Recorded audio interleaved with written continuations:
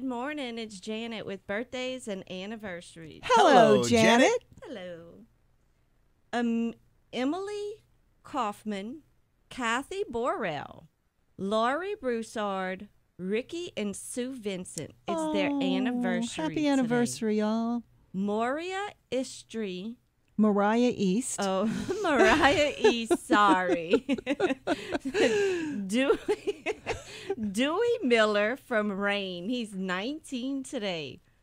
Blaine Mal- Malagari, Kelly Louvier, Josh Menard, Kayla Kidare, Robert Thial, Debbie Baudouin, and Heather Stelly. I got two. I have two. I have two. I have Monique uh, Nelms, used to be my old neighbor in Abbeville. Ah, hey, Monique. Hope y'all are doing well. And Kurt Gerard went to high school with Kurt. Edelborg could play basketball. Man. Oh, yeah? Oh yeah. he was really good. Could do anything.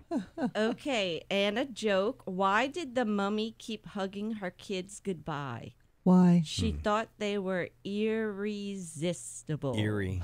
Irresistible. Get out.